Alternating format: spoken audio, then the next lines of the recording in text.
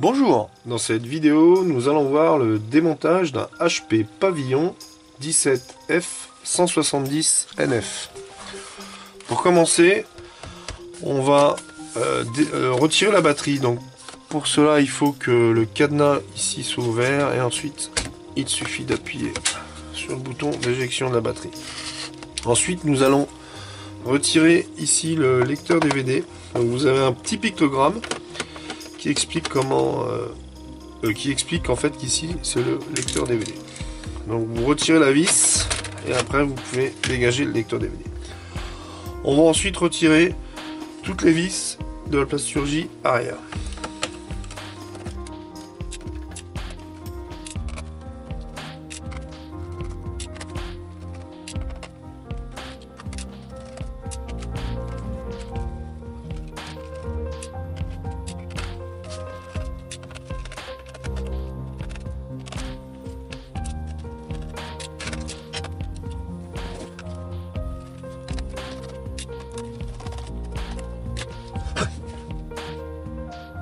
À l'aide d'une petite pointe plate, on va retirer ici. On a un cache pour les vis.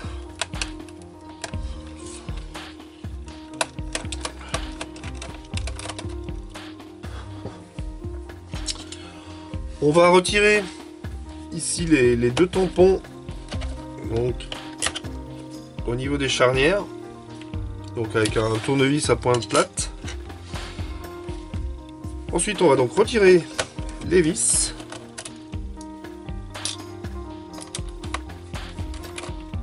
Et on va déclipser les charnières. Donc pour déclipser les charnières, il suffit d'appuyer ici parce que vous avez un, clips.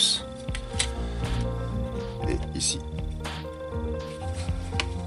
Comme ceci. Voilà.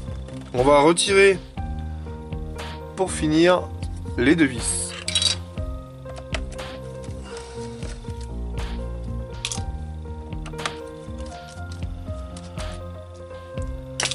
Fois toutes les vis retirées, on retourne le PC. On va retirer la partie supérieure. Pour cela, je vous conseille un outil en plastique ou un médiator, type médiator. L'avantage de l'outil en plastique, c'est qu'il ne va pas vous abîmer la, plasturgie. Et donc on se met entre, euh, entre la partie noire et la partie grise et on déclipse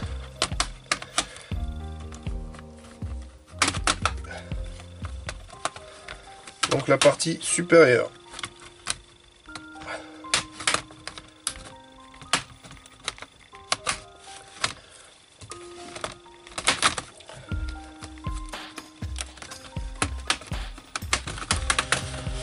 Comme ceci.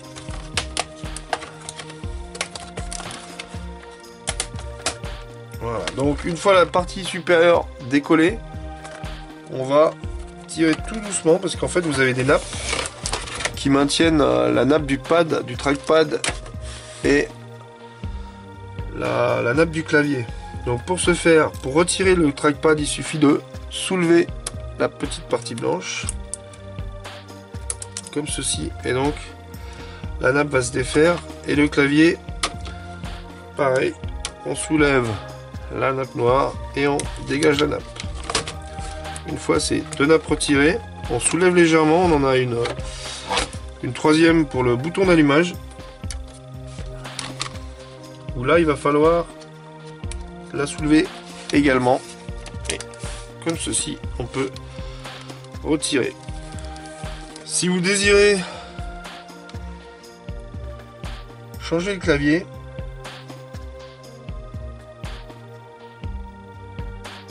il va falloir donc déclipser tous les, petits tétons euh, tous les petits tétons plastiques afin de pouvoir décoller cette, euh, partie ici pour pouvoir remplacer donc euh, le clavier. On arrive ici sur la carte mère. Donc ici, on accède au disque dur. Ici donc le disque dur. On va soulever, retirer la nappe des ports USB et ici retirer la nappe pour le disque dur. Pour dégager le disque dur, donc il vous suffit juste de soulever comme ceci pour, le disque dur. Ensuite ici, on va retirer la nappe du lecteur CD. Ici, vous avez donc l'antenne Wi-Fi. Donc toujours matérialisé avant d'enlever pour être sûr de ne pas se tromper. Donc ici vous en avez qu'une. Mais bon, pour savoir sur quelle prise on la remet, on va faire un trait comme ceci. On sait qu'il faut la rebrancher de ce côté. On va ensuite débrancher l'alimentation de la batterie, retirer le haut-parleur, les haut-parleurs.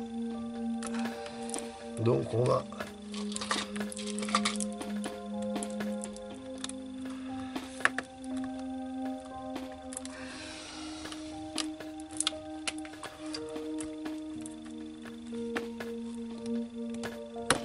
comme ceci, on va tirer la prise. Ensuite, soulever ici, enlever la nappe de l'écran, comme ceci. Il nous reste ici une vis. Donc elles sont matérialisées par des flèches blanches. On va les retirer.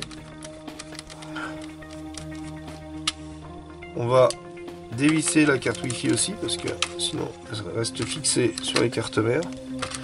Une fois qu'on a retiré la vis, on peut la déclipser comme ceci.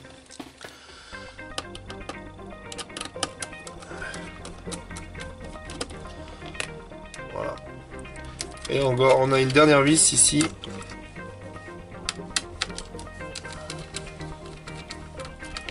Une fois toutes ces vis retirées, on soulève légèrement